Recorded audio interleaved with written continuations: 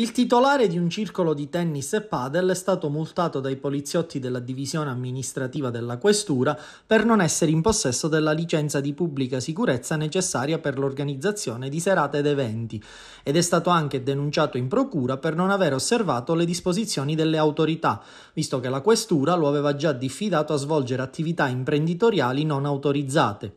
Gli investigatori in una delle scorse serie hanno eseguito un controllo all'interno dell'attività. In quel momento era in corso di svolgimento una serata danzante con tanto di postazione per la diffusione musicale e sul posto erano presenti circa 80 persone, alcune delle quali non tesserate, nonostante l'ingresso fosse riservato ai soli soci. I poliziotti hanno eseguito anche una serie di controlli in altre attività e secondo quanto accertato dagli investigatori si sono registrati numerosi casi di titolari di bar, ristoranti e pizzerie che per assicurarsi maggiori guadagni organizzano eventi musicali dal vivo pubblicizzandoli sui social network senza essere in possesso della necessaria licenza di pubblica sicurezza, violando così le attuali disposizioni di legge e anche in questi casi sono scattate le diffide.